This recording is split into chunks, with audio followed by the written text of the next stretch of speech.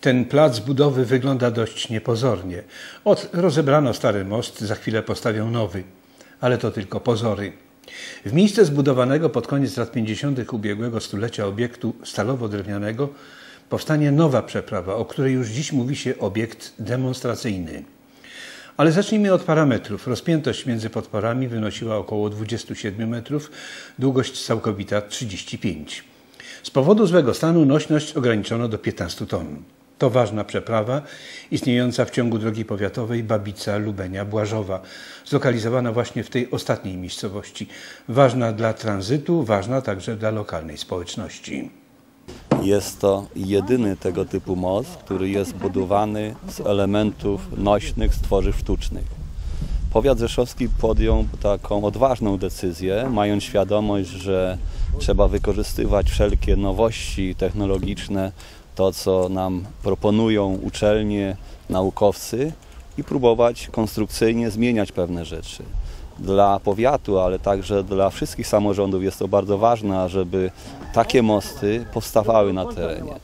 Dlatego, że konserwacja, później utrzymanie takiego mostu jest dużo tańsze.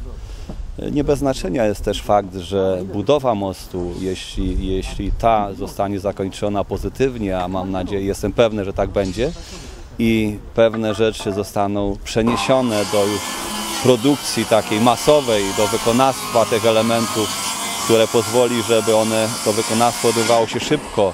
Cena tych elementów na pewno będzie niższa niż tradycyjnych żelbetonowych konstrukcji metalowych, to ten, te doświadczenia, które tu zdobywamy, które firmy wykonujące i konsorcjum, z którym powiat współpracuje, to jest Mostostal Warszawa, to jest Promost e, Rzeszów, to jest Politechnika Rzeszowska, na pewno przynoszą, przyniosą takie bardzo dobre efekty. Innowacje znajdują zastosowanie w budownictwie dość powoli. Dzieje się tak głównie za sprawą kosztów. Co nowe musi kosztować nieco więcej niż stare, tradycyjne metody i materiały. Ale rozpowszechnienie nowości prowadzi do spadku jej ceny. To normalna kolej rzeczy. Powiat rzeszowski postawił na innowacje. Nowy most Błażowej zostanie zbudowany z kompozytów, materiałów stosowanych powszechnie w kosmonautyce, lotnictwie, szkutnictwie, lekkich i wytrzymałych, praktycznie niezniszczalnych, a więc nie wymagających częstej i kosztownej konserwacji. Sam projekt powstał przy wykorzystaniu nowoczesnych metod informatycznych w pracowniach naukowców. Most w Błażowej stanie się poniekąd polem doświadczalnym i, jak już wcześniej wspomnieliśmy, obiektem pokazowym.